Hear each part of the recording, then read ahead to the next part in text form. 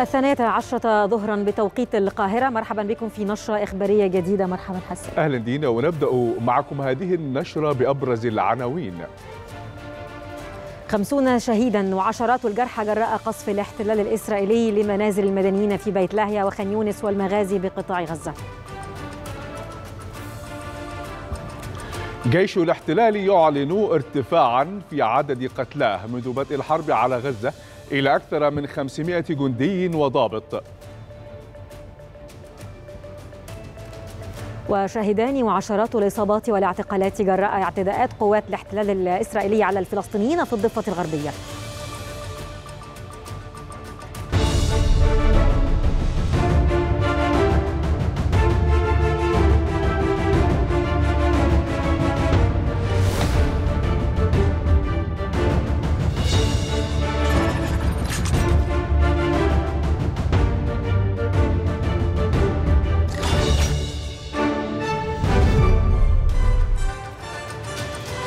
هنا القاهرة الإخبارية. أهلا بكم وإلى التفاصيل.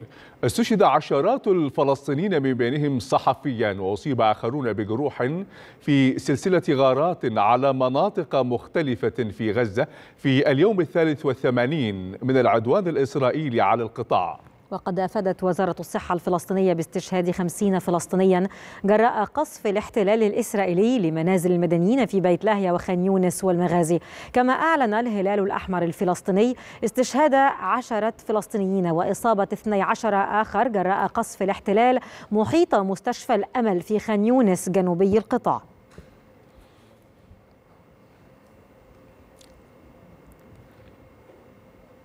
أعلن جيش الاحتلال الإسرائيلي مقتل ضابطين وجندي من سلاح المدرعات وإصابة جنديين آخرين خلال المعارك مع الفصائل الفلسطينية وسط قطاع غزة. وفي بيان له أشار جيش الاحتلال إلى ارتفاع في عدد القتلى بين صفوفه منذ بدء الحرب على قطاع غزة إلى أكثر من 500 جندي وضابط. وقد أكد المتحدث باسم جيش الاحتلال أن قوات الجيش تواصل توغلها في عمق مدينتي خان يونس وغزة وفي مخيمات وسط القطاع مدعومة بقصف جوي وبحري.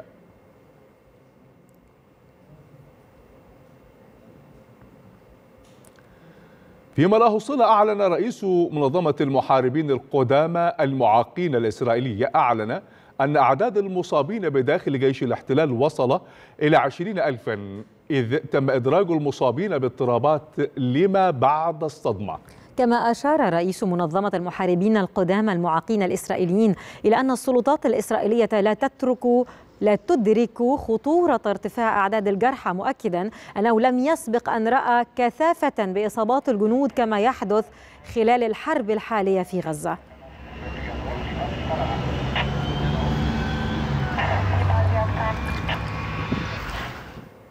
أعلنت الفصائل الفلسطينية عن استهداف جرافة وآلية عسكرية إسرائيلية في مخيم البريج وسط قطاع غزة. وأشارت إلى استهداف سبع آليات تابعة لجيش الاحتلال بقذائف الياسين 105 وعبوات الشواظ في منطقتي التفاح والدرج في مدينة غزة.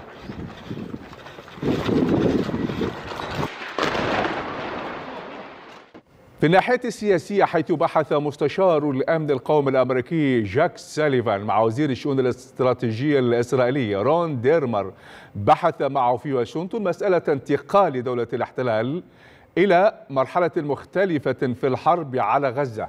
وقالت وسائل إعلام أمريكية إن اللقاء ناقش الخطوات العملية لتحسين الوضع الإنساني في غزة إلى جانب العمل على تعزيز فرص إطلاق سراح الرهائن في قطاع غزة.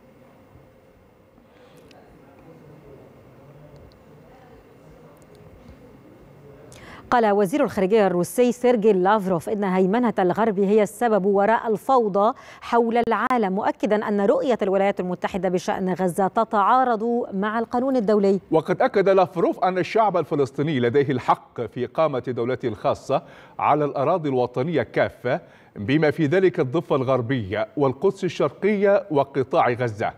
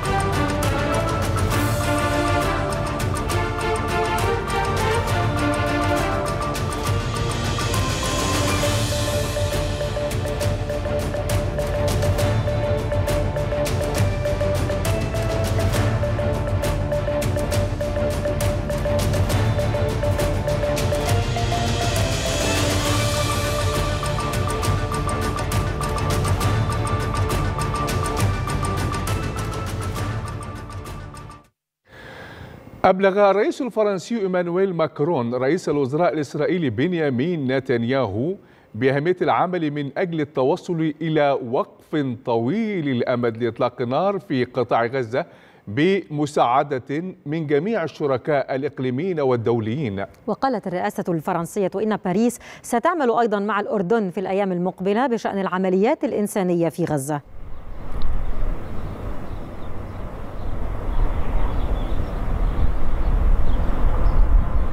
بطولات عدة خرجت من رحم الحرب والقصف في قطاع غزة تظهر مدى قوة وبسالة هذا الشعب الصامد. فبين ألاف القصص والمآسي تبرز قصة زوجين من الصم والبكم. مأساة الزوجين لا تكمن في كونهما لا يسمعان صوت القصف فقط لكنهما أيضا مسؤولان عن حماية ثلاثة أطفال. واحد منهم من أصحاب القدرات الفائقة. سماع صوت القصف والموت قصة مرعبة في حد ذاتها لكن ما يعيشه الزوجان محمود وعبير في قطاع غزة قصة يشيب لها الولدان إذ يحيط بهما القصف من كل مكان لكن لا يمكنهما سماعه أو الفرار منه.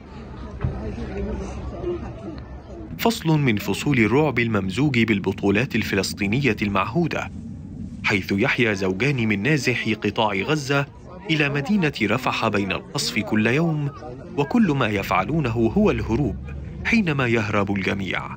لا يمكنهما الصراخ ولا سماع صراخ أطفالهما فقط لكونهما من الصم والبكم. ينجيان من الموت بالصدفة فلا يمكنهما سماع التحذيرات.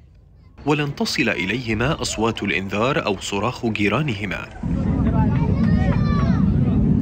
كنت رايح أجيب لأولادي خبز فصارت ضربة جنبي كنت حستشهد لأني أنا ما ما سمعتش شفت الناس بتجري.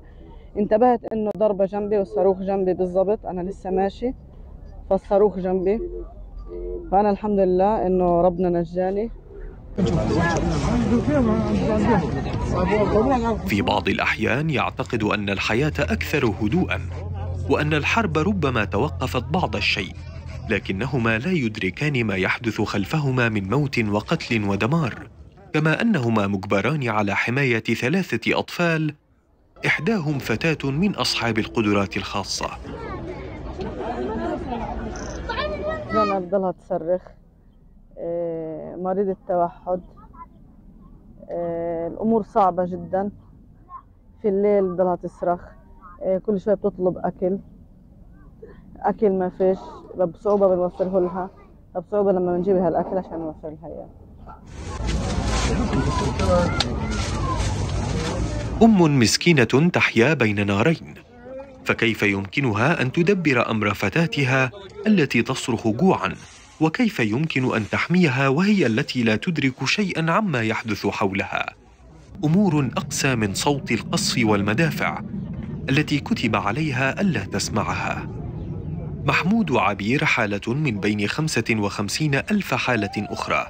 يسكنون القطاع المكلوم يعانون من إعاقات سمعية بصرية حركية وعقلية بحسب التقرير الصحي السنوي للقطاع لعام 2022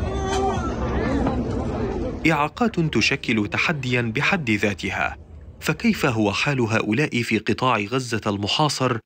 وقد أضيف إليه حرب وتهجير ودمار.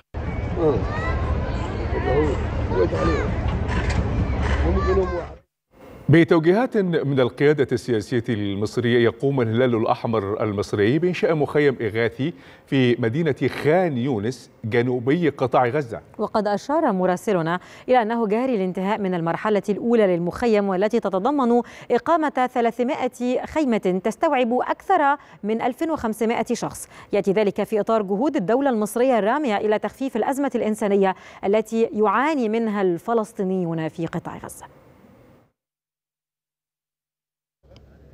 بأياد ومعدات مصرية تجرى الاستعدادات على قدم وساق هنا في محافظة خان يونس بقطاع غزة من أجل الانتهاء من المرحلة الأولى للمخيم المصري الذي جاء بتوجيهات من القيادة السياسية المصرية. نتحدث عن الجهود المصرية العديدة المبذولة منذ بادئ الأزمة الفلسطينية في على كافة الأصعدة.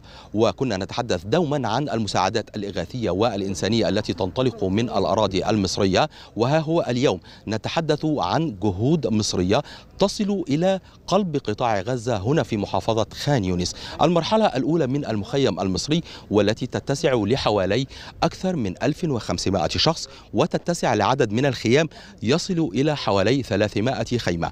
نتحدث عن الجهود والتنسيقات التي تتم ما بين الجانب المصري والجانب الفلسطيني.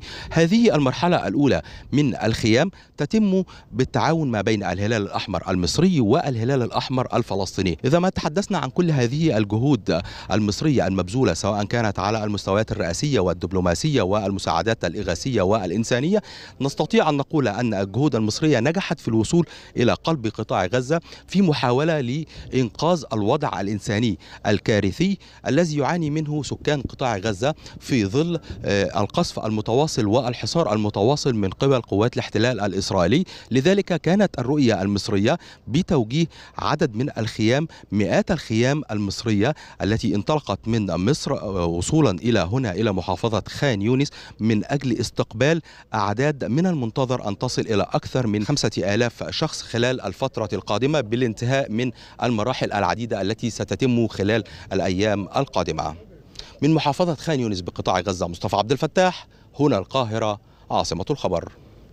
نحن الآن في هذا المخيم التي تقيمه جمهورية مصر العربية من خلال الهلال الأحمر المصري وهذه هي المرحلة الأولى وهي عبارة عن تقريبا 300 خيمة تتسع ل 1500 شخص. هذه مرحلة أولى ولكن المخطط لهذا المخيم أن يكون حوالي 1000 خيمة ما يقارب 5000 لاجئ يستطيع أن يستفيد من هذه الخدمات. وطبعا هذا المرحلة الأولى هي إقامة هذه الخيام في منطقة غرب خان يونس وهي المواصي. المنطقة المواصي غرب خان يونس ونحن يقوم هذا المخيم بالتعاون مع الهلال الأحمر المصري في تمديد جميع التجهيزات لهذا المخيم من غذاء وإيواء. وأيضا سيكون هناك برنامج لهذا المخيم في تقديم جميع الخدمات اللوجستية لهذه العائلات النازحة المنكوبة. طبعا هذا المخيم يعتبر أول مخيم منظم لإيواء النازحين. تم طبعا البدء من شركائنا وزملائنا في جمعية الهلال الأحمر المصري بإنشاء هذا المخيم بالتعاون مع الهلال الأحمر الفلسطيني نظرا للحاجة الكبيرة خلال هذه الاعتداءات الإسرائيلية على قطاع غزة طبعا يتم بناء المخيم بحسب المعايير الدولية وسيتم توفير كافة الاحتياجات اللازمة للنازحين في هذا المخيم من خدمات مياه وإصحاح وغذاء وتغذية بالإضافة إلى خدمات مياه الشرب والكهرباء. طبعا الهلال الاحمر المصري من من من أول ما بدأ الاستجابة بتاعته من بداية أحداث الاعتداء على قطاع غزة وهو بيقدم الخدمات عن طريق إيصال المساعدات وتجهيزها واستقبالها وإدخالها إلى قطاع غزة. لكن طبعا مع تطور الأحداث واستمرار فترة الحرب بدأ ينتج عنها نزوح شديد داخل قطاع غزة ومن المناطق الشمالية إلى الجنوبية. وكان لابد الهلال الأحمر المصري يطور من عملياته لتشمل العمليات داخل قطاع غزة بالتنسيق مع الهلال الأحمر الفلسطيني وبدعم وتوجيه من الدولة المصرية. إحنا بدأنا نعمل دلوقتي في أول مخيم داخل قطاع غزة يتسع المفروض لسبعة ألاف شخص كمرحلة أولى. بدأنا بتجهيزه. هيتم تقديم كل التجهيزات من الهلال الأحمر المصري ومن الدولة المصرية وسوف يقوم الهلال الأحمر المصري بتقديم كل الخدمات اليومية الحياتية المطلوبة والإغاثية من طعام وغذاء وخلافه إلى المقيمين بالمخيم لحد انتهاء الأزمة. في اللحظات الأولى لإنشاء المخيم اللاجئين في المرحلة الأولى منه يعني شعرنا بالسعادة والأمن والأمان. والمحبة من الأخوة في الهلال الأحمر المصري. ونحن في هذه اللحظات العصيبة اللحظات الكارثية التي شعرنا فيها أننا وحدنا فجأة يبزغ نور الأمل من الهلال الأحمر المصري حيث وجدنا الإخوة يمدون لنا يد العون والمساعدة والعناية والرعاية والاهتمام وهذا إن دل على شيء فإنما يدل على ما في الوطن العربي من خير وبر وهدى وتقى يجعل من الكارثة شيئا عابرا بإذن الله تعالى. أفاد مراسل القاهرة الإخبارية بدخول 60 شاحنة مساعدات وأربع شاحنات وقود إلى قطاع غزة أمس وذلك عبر معبر رفح. أضاف مراسلون أن 11 مصابا فلسطينيا قد وصلوا من غزة إلى رفح لتلقي العلاج بالمستشفيات المصرية حيث أشار إلى أن نحو 300 من حاملي الجنسيات المزدوجة وصلوا إلى معبر رفح.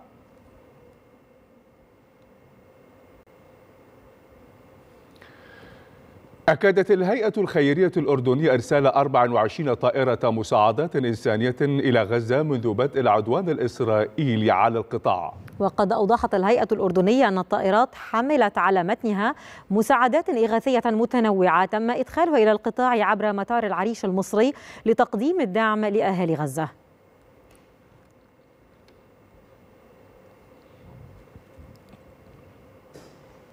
أعلنت وزارة الصحة الفلسطينية استشهاد شاب وإصابة 14 آخر برصاص قوات الاحتلال خلال مواجهات اندلعت في محيط دوار المنارة وسط مدينة رام الله. وقد استشهد شاب متأثرا بإصابته برصاص الاحتلال قبل عشرة أيام بمدينة نابلس.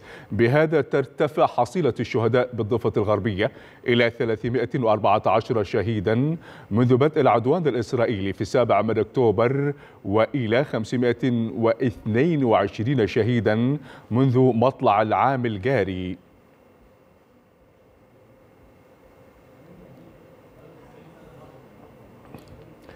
هذا وقد أصيب خمسة فلسطينيين إثر قصف طائرة مسيرة لمجموعة من المواطنين بالحي الشرقي في مدينة جنين بالضفة الغربية. وكانت قوات الاحتلال الإسرائيلي قد اقتحمت مدينة جنين وسط اندلاع مواجهات وإطلاق نار. وأفادت مراسلتنا بأن قوات الاحتلال اقتحمت المدينة وسيرت آلياتها العسكرية حيث اندلعت مواجهات عنيفة أطلق خلالها النار بكثافة واقتحمت قوات الاحتلال البنك العربي وبنك القدس في جنين وعددا من محال الصرافة واستولت على محتوياتها.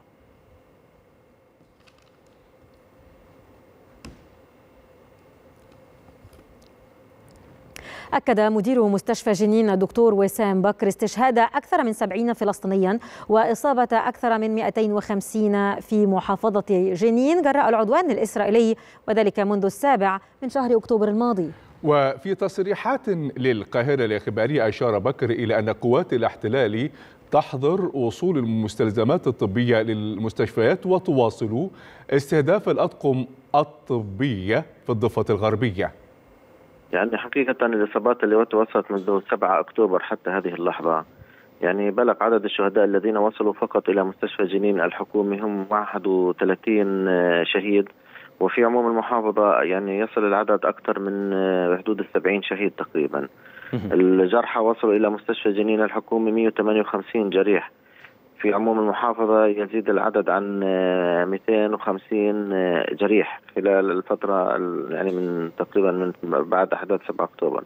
كثير منها إصابات كانت جزء منها خطير. هناك جرحى ما زالوا في بعض المستشفيات التخصصية ما زالوا راقدين لتلقي العلاج حتى هذه اللحظات. يعني لا شك هناك وضع أحيانا عند دخول قوات الاحتلال إلى المدينة في معظم الأوقات كانت تفرض حصار على معظم المستشفيات. تمنع وصول المصابين والمرضى وتعيق حركة الكوادر الطبية وتعيق حركة الإسعافات. يعني هذا كان في معظم الاقتحامات هذا ما تشهده المحافظة. ميدانيا أصيب تسعة فلسطينيين في الأقل من بينهم أطفال واعتقل اثنان آخران خلال مواجهات مع قوات الاحتلال الإسرائيلي في بلدة حلحول بشمال الخليل في الضفة الغربية وذلك عقب مداهمة البلدة. وأكدت مصادر فلسطينية أن من بين المصابين ثلاثة بالرصاص الحي نقلوا إلى المستشفيات والمراكز الصحية لتلقي العلاج وطالت عمليات الاقتحام الإسرائيلية في بلدة حلحول عددا من المنازل ومحلا للصرافة والمجوهرات حيث أجبر الاحتلال أصحاب هذه المحال على فتحه بالقوة وتفتيشه والاستيلاء على محتوياته. اقتحم جيش الاحتلال الإسرائيلي مدينة الكرم وبلدات عتيل وزيتا وباقة الشرقية شمالي المدينة وسط اندلاع اشتباكات مسلحة عنيفة. وبحسب وسائل إعلام محلية فإن جيش الاحتلال نفذ عدة مداهمات لعدد من منازل المواطنين في ضاحيتي ذنابة وشويكة بشرق وشمال طول كرم وداهمت قوات الاحتلال محلات للصرافة في المدينة حيث صادرت مقتنياتها. فيما اعتقلت سبعة فلسطينيين في الأقل.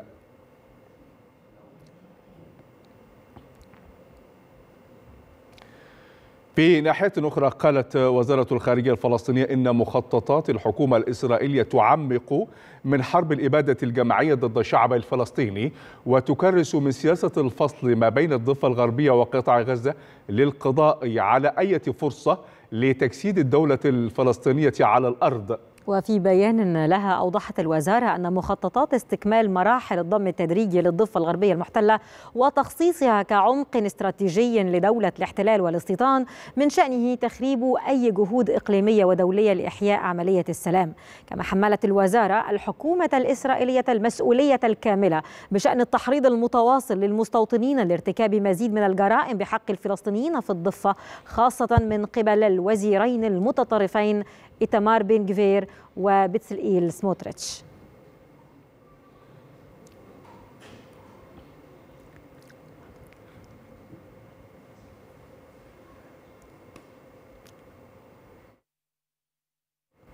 حذرت الأمم المتحدة من التدهور السريع لوضع حقوق الإنسان في الضفة الغربية المحتلة وحثت إسرائيل على إنهاء عمليات القتل غير القانونية ضد الفلسطينيين. وقال المفوض السامي لحقوق الإنسان فولكر تورك أن استخدام التكتيكات والأسلحة العسكرية في سياقات إنفاذ القانون مع استخدام القوة غير الضرورية أو غير المتناسبة وفرض قيود واسعة النطاق وتعسفية وتمييزية على الحركة التي تؤثر على الفلسطينيين هو أمر مثير للقلق للغاية.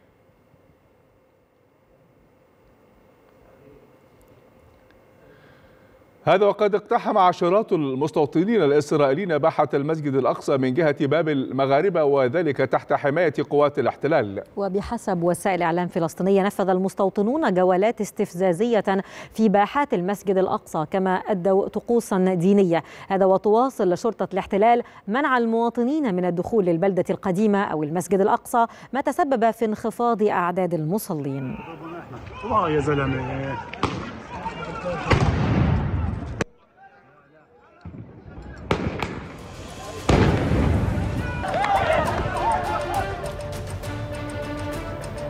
مشاهدينا الكرام هذه النشرة مستمرة مع حضراتكم ونتابع فيها بعد قليل. موسكو تعتبر أن استراتيجية الغرب لهزيمة روسيا مثلت فشلا ذريعا وأن صيغة السلام التي طرحها زيلينسكي نسيج من خيال مريض.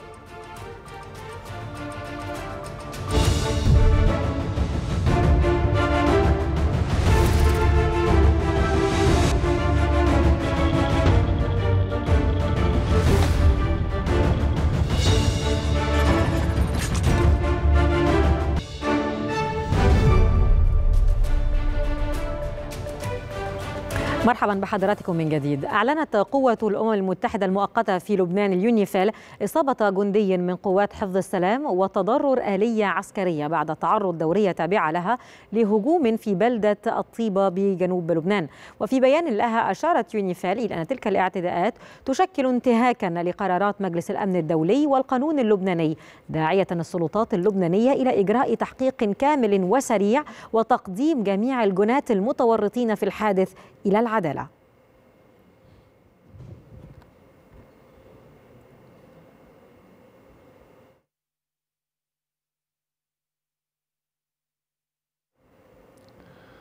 طالبت وزارة الخارجية السورية مجلس الأمن الدولي والأمم المتحدة طالبتهما بتحمل المسؤولية مع وضع حد للسياسات العدوانية الإسرائيلية التي تنذر بإشعال المنطقة وتدفعها نحو تصعيد شامل يهدد السلم والأمن الإقليمي والدولي. وفي بال لها أدانت الوزارة الهجمات التي شنها جيش الاحتلال على الأراضي السورية في الفترة الأخيرة التي أدت إلى استشهاد المستشار العسكري في السفارة الإيرانية لدى دمشق رضا موسوي مؤكدة أن تلك التصرفات تشكل انتهاكا فاضحا لاتفاقية فيينا للعلاقات الدبلوماسية. كما أعلنت شركة البحر الأبيض المتوسط للشحن MSC عن إصابة إحدى سفنها التجارية بصاروخ أثناء عبورها البحر الأحمر. أكدت الشركة أن سفينة الحاويات يونايتد الثامنة تعرضت لهجوم بينما كانت تبحر في طريقها من السعودية إلى باكستان. وأعلنت جماعة الحوثي في وقت سابق استهداف السفينة بالصواريخ دون أن تذكر ما إن كانت أصابتها.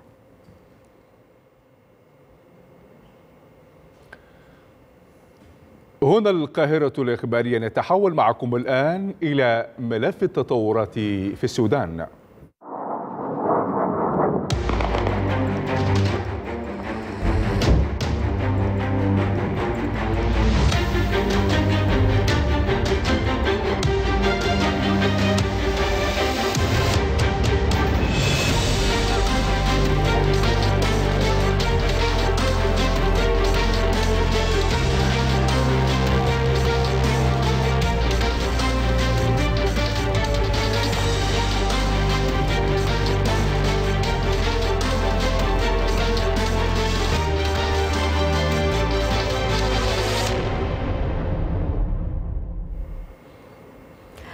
مراسل القاهرة الإخبارية بأن الجيش السوداني استهدف عدة مواقع تابعة لميليشيا الدعم السريع شرقي العاصمة الخرطوم وجنوب وغرب أم درمان. كما أشار مراسلنا إلى وقوع اشتباكات بالأسلحة الثقيلة بين الجيش السوداني وميليشيا الدعم السريع في أم درمان القديمة وأكد أن المدن والقرى في ولاية الجزيرة جنوب غرب الخرطوم تشهد أعمال نهب واسعة من ميليشيا الدعم السريع. طالت عددا من المواقع الاستراتيجية والمؤسسات الحكومية ومنازل المدنيين العزل كما منعت المواطنين في مدينة ود مدني من مغادرة منازلهم إلى مناطق آمنة وأجبرتهم على البقاء بدعوى أنها ستوفر لهم الخدمات.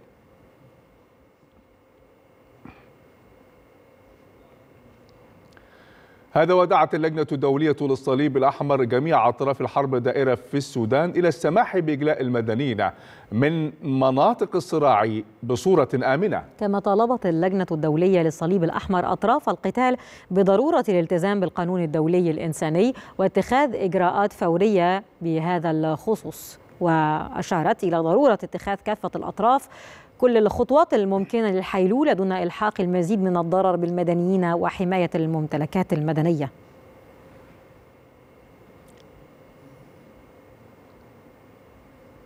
أعربت الأمم المتحدة عن قلقها إزاء عدم قدرة السكان في السودان على الوصول الآمن إلى خدمات الرعاية الصحية في ظل استمرار تفشي وباء الكوليرا في جميع أنحاء البلاد. جاء هذا خلال بيان أصدره مكتب الأمم المتحدة لتنسيق الشؤون الإنسانية أوتشا حول التقارير الواردة التي تشير إلى ارتفاع في عدد الحالات المشتبه في إصابتها بالكوليرا بنسبة تجاوزت 100% في الشهر الماضي حيث تم الإبلاغ عما يقترب من 8300 حالة مشتبه بها وأكثر من 200 حالة وفاة في تسع ولايات حتى يوم الثالث والعشرين من ديسمبر الحالي وفقا لبيانات منظمة الصحة العالمية ومن وزارة الصحة السودانية.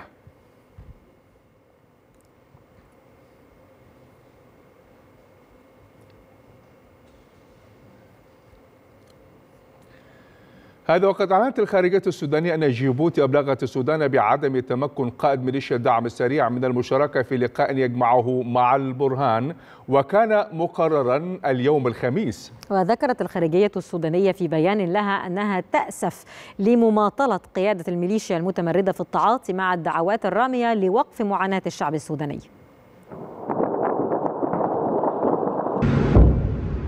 بعد أن حداه الأمل في التوصل إلى اتفاق لوقف إطلاق النار ينهي حالة المعاناة التي يكابدها. تراجعت آمال الشعب السوداني إلى أجل غير معلوم في تحقيق هذا الهدف. وذلك عقب إعلان الهيئة الحكومية للتنمية إيجاد تأجيل اللقاء المرتقب بين الفريق أول ركن عبد الفتاح البرهان رئيس مجلس السيادة الانتقالي ومحمد حمدان دجلو قائد ميليشيا الدعم السريع. الخارجية السودانية قالت إنها تلقت مذكرة جيبوتي رئيس الدورة الحالية لإيجاد تفيد بعدم تمكن قائد ميليشيا الدعم السريع من الوصول إلى جيبوتي لعقد اللقاء الذي كان مقررا الخميس. من أجل الاتفاق على وقف إطلاق النار وبحث سبل تيسير وصول مواد الإغاثة. رئاسة الإيجاد لم تشر إلى أسباب تأجيل اللقاء إلا أنها اكتفت بالقول إن التأجيل جاء لأسباب فنية على حد قولها مشيرة إلى أنه سيتم التنسيق مجددا لعقد اللقاء خلال الشهر المقبل. الحكومة السودانية أعربت عن أسفها إزاء مماطلة قيادة ميليشيا الدعم السريع في تحكيم صوت العقل وعدم رغبتها في إيقاف تدمير السودان وشعبه مشيرة إلى أن عدم استجابتها لحضور اجتماع جيبوتي دليل بين على هذه المماطلة. أمل توارى إلى حين في التوصل لوقف إطلاق النار في السودان لتستمر الحرب مخلفة وراءها أكثر من آلاف القتلى ونزوح سبعة ملايين شخص فيما فر نحو مليون ونصف مليون شخص آخرين إلى دول مجاورة وفقا لتقديرات الأمم المتحدة. ينضم إلينا من القاهرة معتز الفحل الأمين العام السياسي للحزب الاتحادي الديمقراطي السوداني. بعد التحيه سيد معتز نتحدث حول أن الاشتباكات العنيفة ما زالت يعني تدور في أنحاء متفرقة من السودان ولايات متعددة. يعني كيف تبدو هذه الاشتباكات في رأيك؟ وانعكاس هذا على الأوضاع الإنسانية والصحية للسودانيين هناك. أهلا وسهلا. أستاذ العزيز والتحية لك وللقاهرة الإخبارية. وكل عام وأنتم بخير ونتمنى إنه السلام يعم وتستقر الأوضاع في كل البلاد وخاصة في بلدنا العزيز السودان. استمرار الاشتباكات بالتأكيد مزيد من مزيد من من المعاناة وشظف العيش والأمراض والكوليرا التي تحدثتم عنها. يزيد من من من من صعوبة الوصول إلى حلول يمكن أن توقف نزيف نزيف الدم في السودان. استمرار الاشتباكات يؤكد برضو إنه الميليشيا الدعم السريع و وقوات المتمردة حتستمر في انتهاك الأعراض والسرقة والنهب ودون دون مراعاة لكل حقوق ال ال ال الإنسانية. وهذا الاستمرار بالتأكيد بيلقي بظلاله على كل المشهد الحياتي في السودان وعلى كل المشهد في دول الجوار أيضا وتحمله لنزوح زي ما تفضلتم في تقريركم. هنا بالنسبة للنزوح طبعا أعداد كبيرة يعني قدرت بحسب مراقبين ومتابعين بحوالي سبعة مليون نازح سواء كان نزوح في داخل السودان أو نزوح إلى الدول المجاورة، لكن هناك دعوات طبعا من منظمات أممية مختلفة بالسماح بإجلاء المدنيين من مناطق الصراع إلى مناطق آمنة، هل يمكن تنفيذ هذا على أرض الواقع أم أن هؤلاء الذين يتم إجلاؤهم يتعرضون أيضا لمخاطر نتيجة لهذا العنف وهذه الاشتباكات؟ بالتاكيد بالتأكيد ما قامت به قوات الدعم السريع مؤخرا بعد 17 ديسمبر بهجومه على على على على على على مدينة مدني وولايه الجزيرة شرقا وغربا. يؤكد ان ان ان أن النزوح ليس حتى النزوح ليس ليس ليس في مأمن. ليس في مأمن. النازحين ليس في مأمن. وأن الدعم السريع أصبح مهدد للأمن بشكل عام حتى في المنطقة على حدودها. حتى النازحين الذين نزحوا إلى مدينة مدني التي كانت نزح إليها أكثر من 4 مليون من جميع أنحاء السودان من دارفور ومن الخرطوم ومن شرق السودان ومن شرق الجزيرة آه تعرضت لهجوم غادر من الميليشيا وهذا بيأكد إنه حتى الذين نزحوا ليس في مامن والآن أصبح نزوحا جديدا نعم. لا يعرف إلى أين وكيف يمكن أن يكون وحتى المنظمات أصبح تستنكر وأن كل المنظمات الدولية أدانت هذا الهجوم البربري على على ولاية الجزيرة ومدني. فبالتأكيد مزيد من ال من ال من ال من, ال من الاستمرار في الحرب مزيد من من النزوح مزيد من التشتت نعم. مزيد من المعاناة حقيقة. يعني أسمح لي أن أؤكد لك إن أهلنا يعانون حقيقة نزوحا وتشردا و...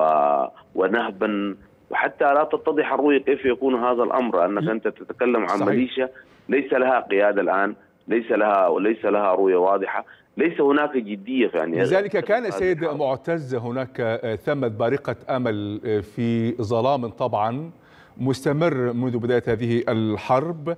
يعني في الناحية السياسية كان هناك تحول أو تحدث حول محاولة وجود تحول في الأفق السياسي بين الجانبين.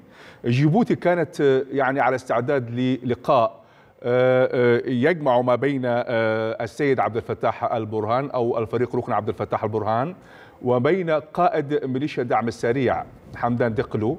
لكن يبدو أن هذه التفاصيل ليست يعني واضحة إلى الآن لأن هذا اللقاء كان يمكن أن يتم اليوم الخميس. فكيف توصف ما حدث من عرقلة لمثل هكذا اتفاق قد يفضي إلى حل سياسي لهذه الأزمة؟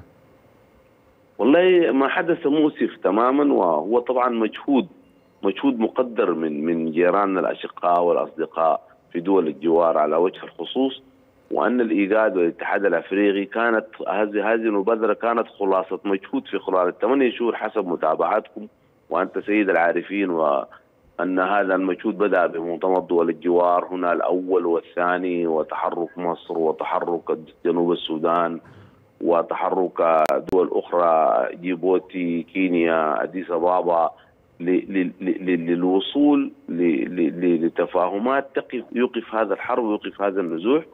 وبفتكر إنه المؤسسة السودانية قوات الشعب المسلحة كانت حريصه لأنه هي هي المسؤولة عن هذا الأمن وعن إيقاف هذا الدمار وهذا الحرب. ولكن أنا بفتكر في تقديري أن الميليشيا في, في فقد للسيطره في فقد للسيطره على القيادة والحديث بكم بعدة ألسنة وعدة رؤى وعدة متحدثين للوصول إلى اتفاق. آه لكن بالتأكيد ضرورة الضغط في الوصول لاتفاق لوقف إطلاق النار هو هذا هو المرتجى وهذا نعم. هو الأمل لكن يجب أن يكون هذا الاتفاق وهذا الإطار في وحدة شعب السودان وبلدنا السودان وقوات مسلحة صحيح. وطنية واحدة. لا تكون هناك أي قوات أخرى تحمل السلاح غير هذه لأنها لأن الدعوات مهمة في هذه الآونة. نحو التعاطي مع الدعوات الرامية لوقف معاناة الشعب السوداني المستمرة أشكرك هذه التفاصيل كنت معنا فيها من القاهرة معتز الفحل الأمين العام السياسي لحزب الاتحاد الديمقراطي السوداني. إلى العراق حيث استقبل رئيس الوزراء العراقي محمد شياع السوداني نظيره الإسباني بيدرو سانشيز واتفق الجانبان على جدول أعمال يؤسس لشراكة استراتيجية بمختلف المجالات بين البلدين. أشار السوداني خلال مؤتمر مع سانشيز مضي الحكومة العراقية في مواجهة تنظيم داعش وإنهاء وجود التحالف الدولي في العراق. وأضاف أن الحكومة العراقية قادرة على حفظ وحماية البعثات الدبلوماسية على أراضيها. في هذه الزيارة أيضا كان هناك حديث أكثر تفصيلا يتعلق بوضع التحالف الدولي خصوصا وأن إسبانيا جزء من هذا التحالف وأشرنا إلى هذا الدور في دعم جهود العراق لمواجهة داعش الإرهابية والتي انتصرنا عليها ولله الحمد. ونحن في طور إعادة ترتيب العلاقة. حيث في ظل وجود قوات عراقية متمكنة فإن الحكومة العراقية ماضية باتجاه إنهاء هذا الوجود وجود التحالف قوات التحالف الدولي والتي تضم مستشارين أمنيين. نتحول إلى الأزمة الأوكرانية حيث أكد وزير الخارجية الروسي سيرجي لافروف أن استراتيجية الغرب لهزيمة روسيا فشلت فشلا ذريعا. وأضاف أن صيغة السلام التي طرحها الرئيس الأوكراني فلاديمير زيلينسكي نسج من الخيال المريض وقال إن الحرب مستمرة وهدفها هو نزع السلاح الأوكراني مع إزالة نظام بانديرا لافتا إلى أن محاولات الغرب جذب دول عدة لتنفيذ صيغة زيلينسكي هي عملية احتيال.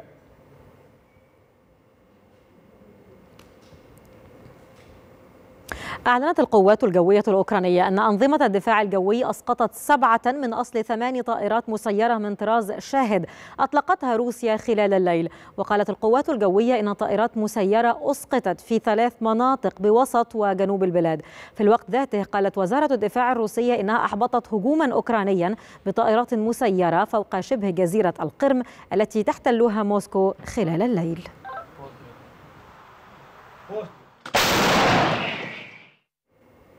لمزيد من النقاش ينضم إلينا من كييف السيد قسطنطين جريدين الباحث في العلاقات الدولية. مرحبا بك معنا سيد جريدين. ما هي رؤية أوكرانيا الآن لتطورات الحرب مع روسيا وقد يعني شارفت على دخول العام الثالث؟ أهلا وسهلا. أوكرانيا الآن تقع في حالة النقص المساعدات الغربية بسبب معرقله اتخاذ القرارات من قبل الكونغرس الأمريكي وأيضا الاتحاد الأوروبي. ولكن كما تشهدون لا لم تسقط هذه الأيام حتى في حالة النقص من المعروف أنها قلصت بعض العمليات قلصت حجم بعض العمليات في الهجومية في بعض المناطق. بينما تتم المعارك في عدة النقاط على اتساع الجبهة وعموما المجتمع الأوكراني ينظر في العمل المستقبل بتفاؤل نظرا ل تقارب المواقف الجمهورية والديمقراطية حول قانون المساعدات الأوكرانية وأيضا حول الرغبة الشديدة لدي 26 دولة الدولة العضو عضو في الاتحاد الأوروبي لتقديم هذه المساعدات على الرغم محاولات الفيتو من المجر هل تخشى أوكرانيا بداية تململ من الجانب الغربي في استمرار المساعدات سواء في سواء فيما يتعلق بالولايات المتحدة الأمريكية أو من الاتحاد الأوروبي. وبالتالي تستعد لحرب أطول بكثير وبدأت تأخذ طابع حرب الاستنزاف. نعم نحن الحين في مرحلة الاستنزاف من قبل الجانبين سواء الروسي واوكراني ولكن أوكرانيا لا تستخدم كلمة زي خشية أو المخاوف منذ بداية الحرب.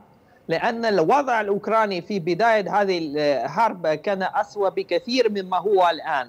ولم تكن هناك أي مساعدات الغربية مساعدات غربية إلا مساعدات رمزية في أول أيام والأول أسابيع الحرب.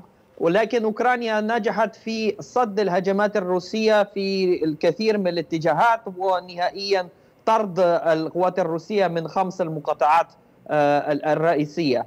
فلذلك نحن ننظر في هذه المشاكل أو هذه المرحلة كمرحلة مؤقتة ونتمنى أو نتبنى باستئناف المساعدات الغربية إلى أوكرانيا و بكل تأكيد هناك احتمال كبير أن هذه الحرب ستطول لفترة طويلة والمجتمع الأوكراني جاهز لذلك منذ منذ زمن طويل أيضا.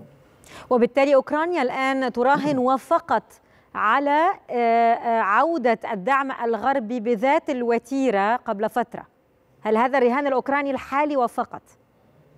نعم لأن مهما كانت مهما كانت صناعات أوكرانيا الداخليه وعلى فكرة هي زادت بعشرات الاضعاف منذ بداية الحرب الصناعات الحربية أو العسكرية الأوكرانية.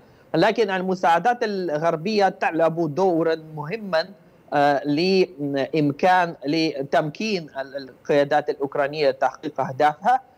فهناك تمنيات لاستئناف المساعدات بنفس الوتيرة وحتى وتيرة اسرع نظرا لاحتياجات اوكرانيا المتزايدة نظرا لأهداف أوكرانيا لاستعاده السيطرة على أراضيها. وشن العمليات الهجومية التي تختلف جوهريا عن العمليات الدفاعية وتحتاج أكثر من الموارد العسكرية والبشرية. فهذا هو الوضع كما هو وبانتظار الم... تفضلي. أشكرك شكرا جزيلا. السيد قسطنطين جريدين الباحث في العلاقات الدولية حدثتنا من كييف.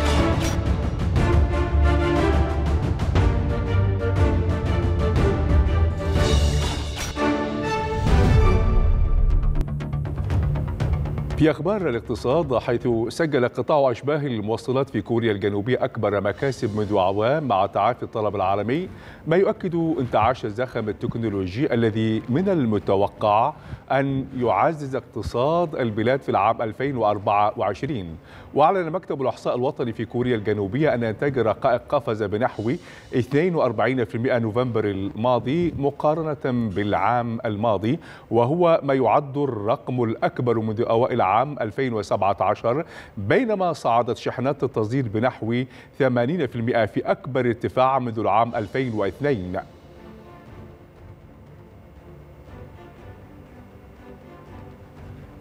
ارتفعت الأسهم الأوروبية مدعومة بشركات قطاعي التعدين والتأمين وسط أمال بأن تتمكن البنوك المركزية العالمية الكبرى من خفض تكاليف الإقراض.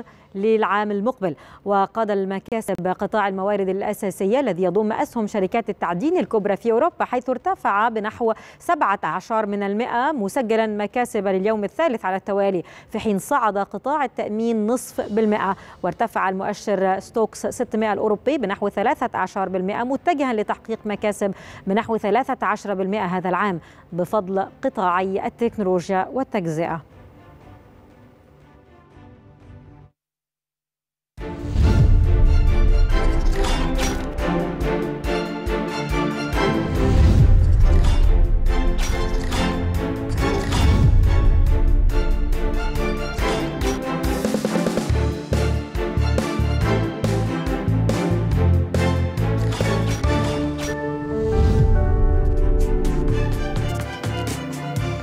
رياضيا حيث يلتقي الأهلي مع فريق مودرن فيوتشر على ملعب محمد بن زايد في مدينة أبو ظبي بنهائي كأس السوبر المصري للأندية الأبطال. الأهلي تخطى عقبة سيراميكا بصعوبة بنصف النهائي بهدف دون مقابل بينما صعد فيوتشر بعد مباراة مثيرة ضد بيراميدز انتهت بالتعادل دون أهداف ثم فاز فيوتشر بنتيجة 14 13 بركلات الترجيح.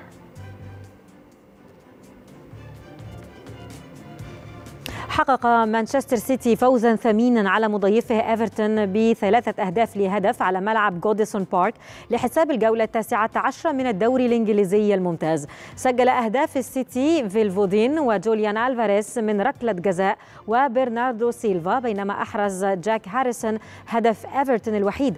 تقدم السيتيزنز إلى المركز الرابع مؤقتا برصيد 37 نقطة وله مباراة مؤجلة بينما بقي رصيد إيفرتون عند 16 نقطة. نقطة في المركز السابع عشر بعد خصم عشر نقاط من رصيده لثبوت مخالفته قوانين اللعب المالي النظيف.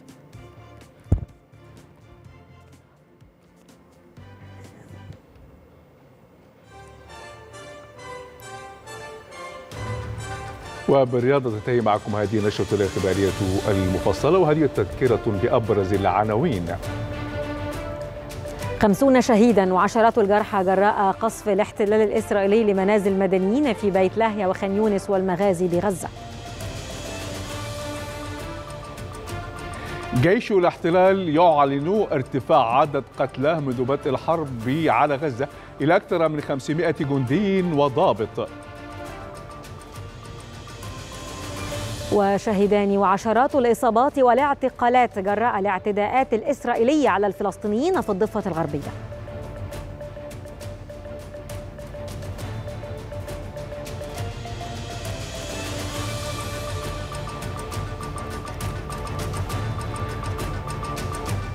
إلى هنا تنتهي معكم نشرة الأخبار المفصلة. شكرا لك حساني شكرا لكم مشاهدينا ويمكنكم أيضا متابعة المزيد عبر زيارة موقعنا القاهرة نيوز دوت نت. إلى اللقاء.